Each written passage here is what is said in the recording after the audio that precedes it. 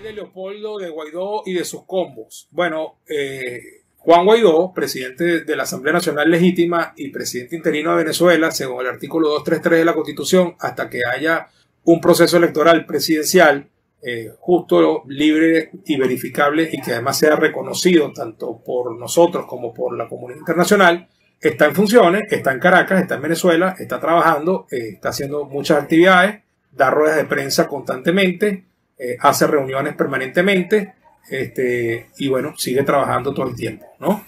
Y respecto a Leopoldo, lo último que vi de él fue ayer, donde dio una declaración después de visitar a una eurodiputada y después eh, dio un, expresó un comunicado eh, diciendo que según todo lo que él había podido conversar allá en Europa, no estaban dadas las condiciones para que la Unión Europea mandara una misión de observación para el proceso del 21 de noviembre. Los mismos europeos han dicho en muchas oportunidades que ellos deben ser invitados por lo menos con seis meses de antelación y que además sus misiones deben estar debidamente preparadas para ejercer sus funciones debidamente. Esto fue una invitación tardía y además, según lo que le entendía Leopoldo, pues una revisión eh, meticulosa de las condiciones bajo las cuales los están invitando a participar como observadores no son las idóneas para que puedan desplegar una labor de observación efectiva. Entonces, esa es mi respuesta de qué hay de Leopoldo y qué hay de Guaidó. Ambos trabajando, cada uno desde los espacios y los sitios en los cuales se encuentran. Uno aquí en Venezuela y el otro en Europa. Muy bien, dice Bolinero otra vez, momentos intensos estamos viviendo, así es, muy intensos. Y yo, entre otras cosas, entiendo perfectamente y reconozco que es un gran escepticismo, de incredulidad. Hay una gran interrogante en el ambiente, mucha gente que ha decidido simplemente vivir su vida y preocuparse por sí mismo y su entorno y desconectarse un poco de la política. Eh, hay, hay sentimientos contradictorios en otros y algunos pues simplemente pues decidieron simplemente dejar esto hasta aquí e irse del país. Dice Camero, bueno, aquí hay varios mensajes seguidos de Camero, sin embargo vamos a tratar de ver si hacemos una sola lectura o si no tienen una, una sola significación. Dice Camero, tú fuiste a ECO, ¿qué pasó? ¿Por qué te fuiste? Por cierto, puso te fuiste, eh, Camero, sin ese, te fuiste, no es te fuiste, este, de sus filas. Siempre se dijo que Adeco es Adeco hasta el final. Como que eres muy inestable, pana. Bueno, no somos panas, Camero, me disculpas, pero bueno, entiendo que es tu, tu manera de expresarte. Hay que ser firme en nuestras convicciones. porque el cambio a voluntad popular no te hizo bien? Cipriano, ¿qué piensas de la merienda de locos que hay en política? Bueno, mira, primero que nada, Camero, vamos a aclarar las cosas, ¿no? Este, efectivamente, yo milité en Acción Democrática estando muy joven, eh, me inscribí apenas cumplí 18 años, eso fue en 1986, milité políticamente en ese partido, fui dirigente estudiantil eh, como dirigente de AD y fui también dirigente del municipio de Baruta en esa misma condición. Sin embargo, este, es muy obvio que la AD en la que yo me inscribí no es la misma AD y que ha sufrido un proceso de transformación que a mi manera de ver no fue conveniente. De hecho, siendo yo muy joven, apenas cuatro o cinco años después que me inscribí en AD, eh, tomó la Secretaría General el señor Luis Alfaro Ucero.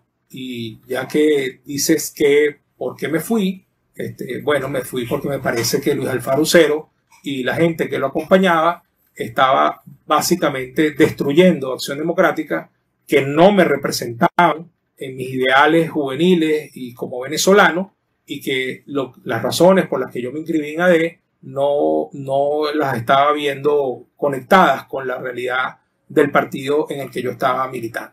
Era básicamente un partido secuestrado por una pequeña cúpula, un partido bastante arbitrario, donde no había nada de democracia interna, un partido además que se negó a sí mismo a darse una renovación a permitir que los cuadros lógicos que debían suceder al liderazgo tradicional tomaran sus posiciones y un partido que además se fue envolviendo cada vez más en, escándalos, etcétera, y que no daba ninguna muestra de eh, autocrítica y corrección. Entonces, bueno, yo tomé la decisión en 1997 de irme del partido con una enorme cantidad de personas de mi generación que, bueno, migramos hacia el mundo independiente, la mayoría, eh, primero, otros encontraron otras organizaciones y bueno, desde el año 99, 2000, 2001 que empezaron a surgir todas estas nuevas organizaciones eh, políticas, pues algunos de ellos eh, se hicieron una opción atractiva para muchos de nosotros, de mi generación en particular, y bueno, algunos terminaron en Primero Justicia, otros terminaron en Voluntad Popular, como yo, y otros, pues a lo mejor regresaron a Acción Democrática o escogieron otro derroteo. En todo caso, te dejo muy claro que no es inestabilidad cambiar de partido por razones válidas. Eso es una apreciación muy personal tuya, Camero, que por cierto, no somos panas, ¿ok?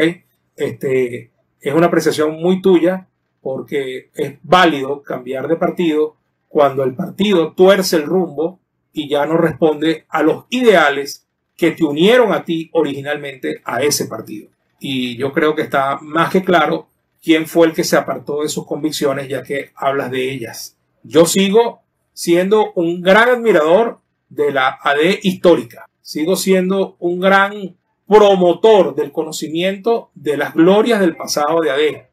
Sigo siendo de los que piensa que AD tuvo unos líderes fundadores excepcionales, una generación de oro, líderes como Betancourt, como Pineda, como Carnevali, como tantos otros, y que fue sin duda alguna el partido clave para la fundación de la democracia en Venezuela y para la estabilización de la misma, para que tuviéramos un régimen democrático y saliéramos ya de la seguidilla de dictaduras militares que habían eh, dominado durante todo el siglo XIX y la primera parte del siglo XX. Ahora, tú me dirás si el que volteó sus convicciones fui yo o fue el partido original en el que yo me inscribí.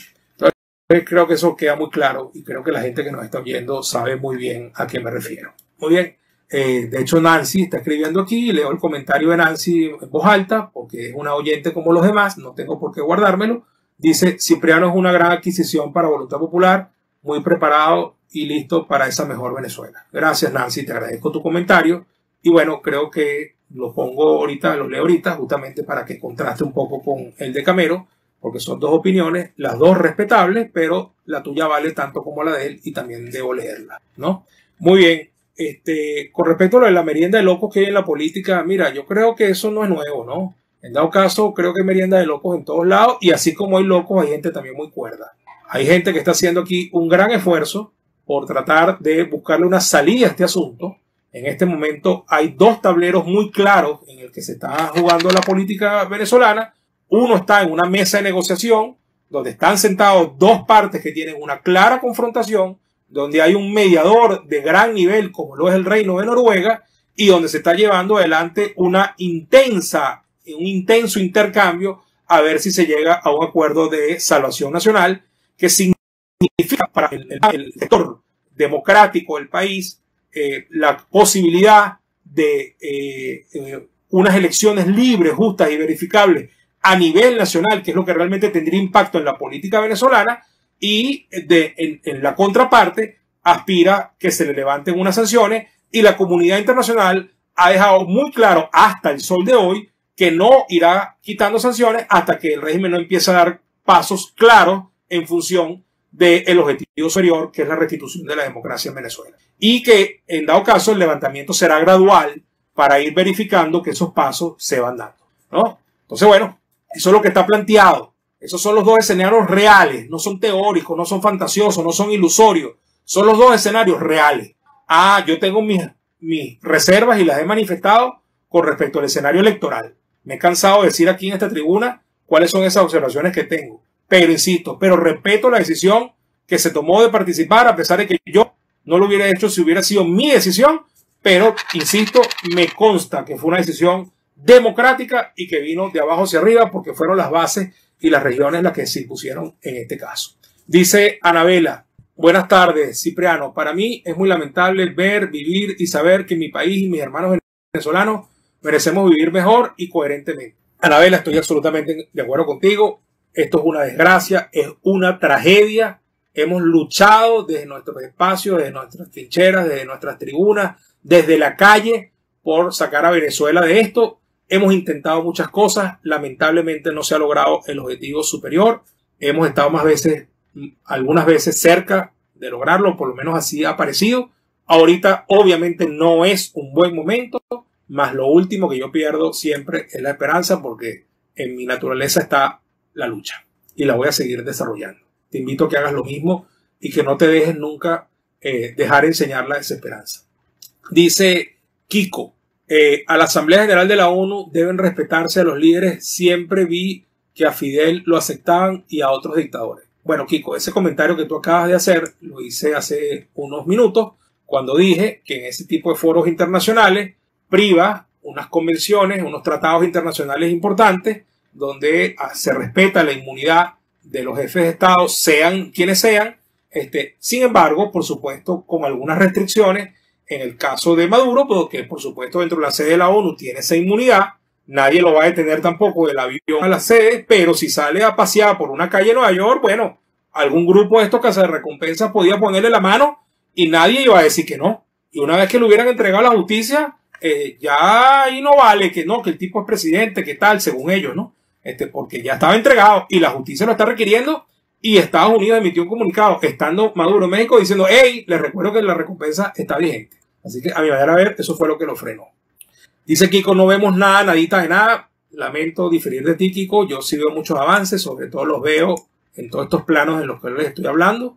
Este, y bueno, me reservo mi opinión sobre lo que va a pasar el 21 de noviembre. Algunos creen que va a ser un avance, yo tengo mis dudas sobre eso, pero veo claro que lo del Pollo Carvajal es un avance, veo claro que lo de Alex Saab es un avance, veo clarísimo que lo que está pasando en la Corte Penal Internacional es un avance y claro que también veo que hay una enorme pelea entre ellos mismos. Basta ver el intercambio entre el Pollo Carvajal y Diosdado Cabello para darse cuenta que allí tampoco las aguas es que están quietas. Bueno, eh, voy a leer a Livia y Esther para terminar. Este, Camero, ya tú has intervenido bastantes veces, así que vamos a darle chance a, los demás. Eh, y bueno, Livia dice, buenas tardes Cipriano, muy elocuente y verídica su posición ante la, situación sociopolítica actual y demás. Livia, muy agradecido. Este, aquí estamos siempre dando nuestro punto de vista. Eh, por cierto, no es nada más de mera crítica, bastantes soluciones y bastantes eh, ponderaciones hacemos desde esta tribuna y las compartimos con ustedes además. Y dice Esther, tengo su curiosidad, ¿qué va a seguir después de todas estas cumbres? ¿Se resolverá la situación de Venezuela, sí o no? Bueno, Esther, esa, esa es la expectativa que tenemos todos. Ahora, no te dejes llevar nada más por las cumbres. A veces las cumbres solamente sirven para mostrar allí una tribuna y que los presidentes digan las cosas más generales que, pueden decir. Eh, pero bueno, así como vimos algunas cosas malas, también vimos posiciones en la ONU como las de Duque, en la CELAC como las de los presidentes de Paraguay y Uruguay. Y yo lo que te invito es a no perder la esperanza, porque evidentemente que tú a lo mejor piensas esas cumbres no sirven para nada. Pero más allá de las cumbres, yo, yo te invito a que veas lo que está pasando en el mundo real. Y en el mundo real están pasando cosas. Insisto, ahí está el señor Saab, agotado todos los recursos hasta el, hasta el de interpretación, disculpen que ya lo llaman aclaratoria, este, ya a mi manera de ver no tiene más para dónde ir. Ahí está el señor Carvajal intercambiándose amenazas con Diosdado Cabello y amenazando incluso al gobierno español de implosionarlo y dar información. Ahí está el fiscal Khan agotando la fase previa para un juicio penal internacional contra Maduro. Para mí es cuestión de semanas de que se inicie formalmente la investigación a nivel de la Corte Penal Internacional. Y ahí está iniciándose la nueva ronda de negociación en México, la tercera, después que el régimen había dicho la semana pasada que iba a sentar allí a Alex Saab, ¿no? El señor resulta ser que sigue preso en Cabo Verde, y después que habían dicho que si no lo soltaban no iban para esta ronda, ahí están sentaditos en México todos. Así que no se dejen llevar tampoco por tanto ruido, por tanta propaganda oficial. Celebren también los triunfos que se tengan, aunque sean pequeños, y vean siempre cuando un vaso esté por la mitad, así como se puede ver medio vacío, como siempre lo va a ver un pesimista, también véanlo medio lleno si quieren verlo con una óptica un poco más optimista.